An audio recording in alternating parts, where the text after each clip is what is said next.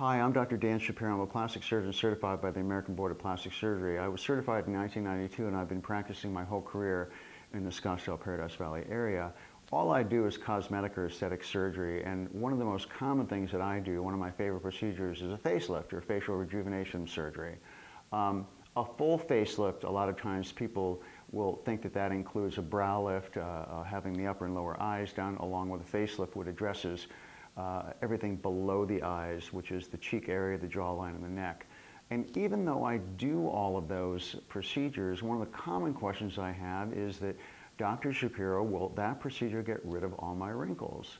Um, it's important to understand exactly what those procedures do, and those procedures actually are designed to elevate the facial tissues back into their more uh, normal or youthful position uh, and help to uh, reposition the fat so your face gets a lot more, uh, more youthful contour.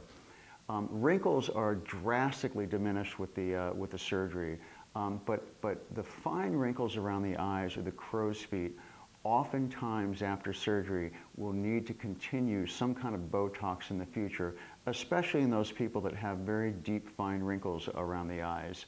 Um, almost always in those patients I will add some kind of topical uh, uh, resurfacing, whether it be a chemical peel or laser resurfacing, and those things can, can drastically diminish the wrinkles. So I'd say that in the majority of people, almost all the wrinkles will be diminished. Uh, in a small fraction of people, we'll need to have those people continue getting Botox if they really want to diminish those crow's feet wrinkles around the eyes.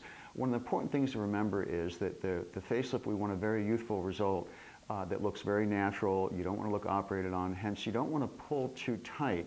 Uh, so consequently, I think the trade-off is something that, that looks beautiful and youthful and no one can tell that anything's been done uh, without any distortion. So the thing to remember is that I want to look better, I want to look younger, and, and if in fact there are small areas that still bother you, oftentimes a little Botox or some resurfacing will help. Thank you.